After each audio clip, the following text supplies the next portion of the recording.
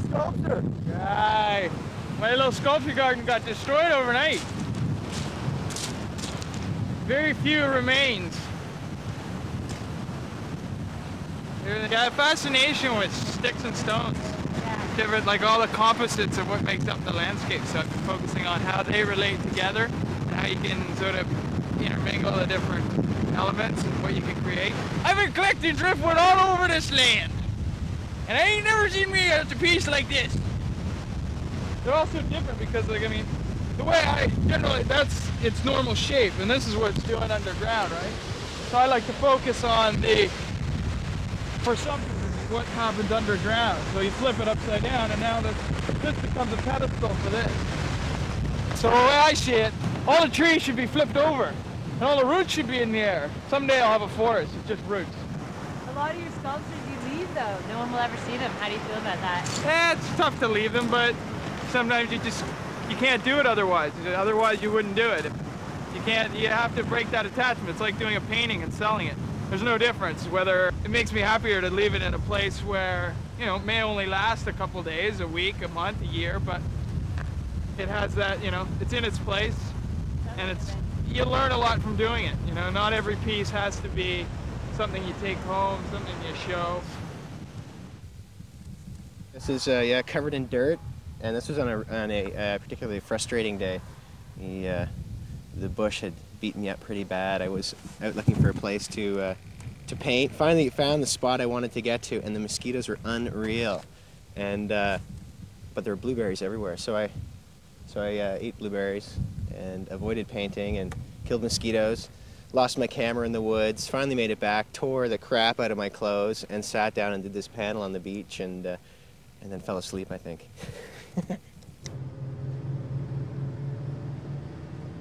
Salvage a town that we hit our last, second last stop, I think before, last stop before we got to St. John's. And it was one of those classical fishing villages. And uh, it basically, it was, I guess, the second oldest fishing village in Newfoundland. They only had a road put in there in 1965. So it was basically a fishing outport only accessible by boat up until that time.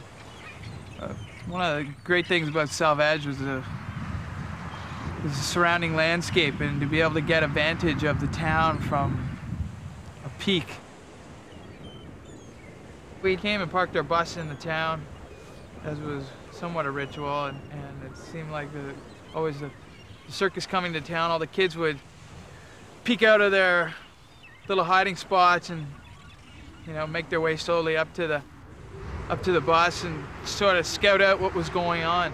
I remember particularly one instance I was doing some work about behind the bus and playing with some rocks, just playing on some ideas. I've been noticing uh, how the shores form with the little jetties here and there, and just by assembling it, I was able to describe to them what what I was trying to get out of it, being an outsider, playing with uh, the elements of their environment. So it was a good feeling to be able to sort of pass on a little message of what you were trying to achieve on the trip to to a child whose mind is always open to, to new concepts and new ideas. It really was at that point that we knew that we were more interacting with with the Newfoundlanders, which is a different part of this trip for us because most of the time when we're on the trips, it's just about being in the bush and kind of separating ourselves from any other elements of society. But here we were really delving into another culture and really enjoying it. She'll be fishing for squid to the end of October, you say? Yeah. And where's all this? Where's all the squid go? Well, these here and then we'll draw them. Puts them out the store and hangs them up. When, you, when you're dry, then pressed out and ships them to the fish pond.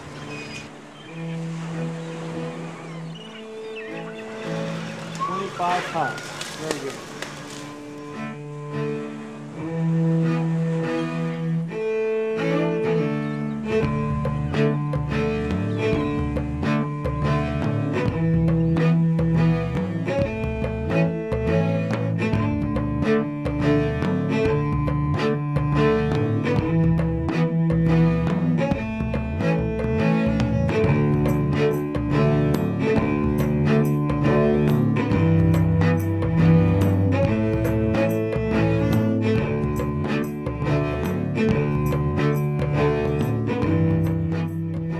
If I can remember what it's like to have the painting go the way I want it to. This trip has just been so fucking like social.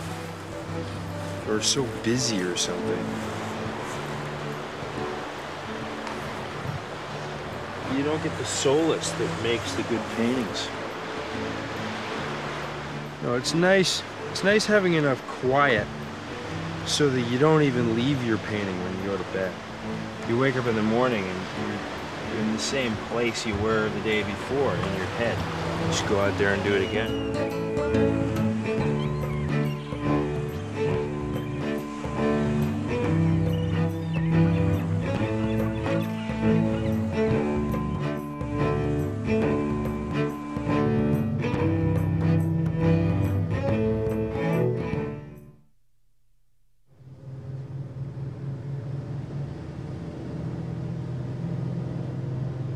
Getting to, to St. Leonard's was a bit of an adventure in itself.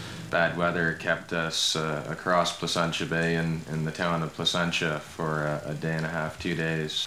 Our, our boat that we had rented to ferry us across to St. Leonard's from Placentia wasn't going to travel in the rough weather. So after two days of, of waiting around for the weather to change, uh, we hopped in the, the bus and six of us drove up to Arnold's Cove, where we rented uh, a boat that took us over a three-hour boat cruise over to our sheltered bay, and uh, they dropped us off and left us there for five days.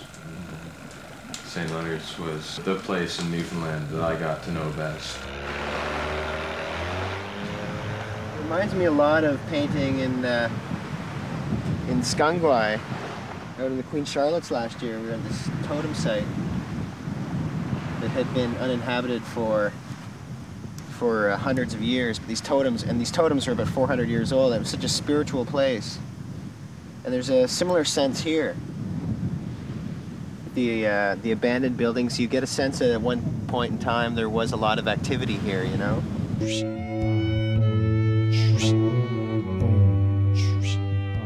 I just like getting back into the into the thick of it all, into the bush, trying to live uh, a simpler lifestyle. It's it's definite. It's an indication of a different way of life. I mean, the fact that the people have left here or were relocated in this case, but up in northern Ontario, the the conditions are so harsh that you know there's there's ghost communities where you know that that once there was a thriving lifestyle there, and and yet the conditions are so harsh.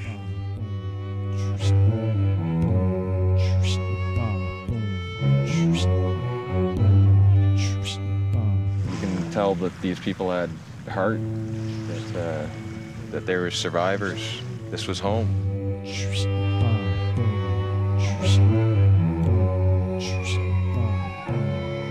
I can't draw a comparison to anywhere I've been in Canada. Um,